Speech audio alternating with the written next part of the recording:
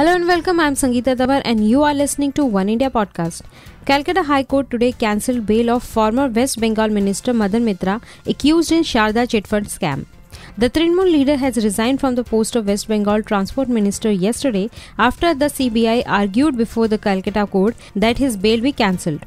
The Chief Minister Mamata Banerjee has accepted the Madan Mitra's resignation, which was forwarded to Governor yesterday. The Governor has also accepted his resignation. As per the senior official at Raj Bhavan, Mitra has cited personal reasons behind the resignation.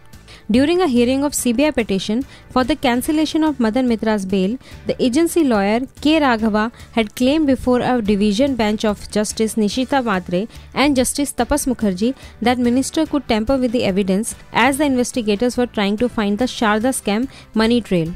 Mr. Madan Mitra was given bail by the Alipore court on October 31 and he walked out of the prison on November 1 after 10 months in jail following his arrest in connection with the chit fund scam case. That's all in this podcast. For more news, log in to oneindia.com.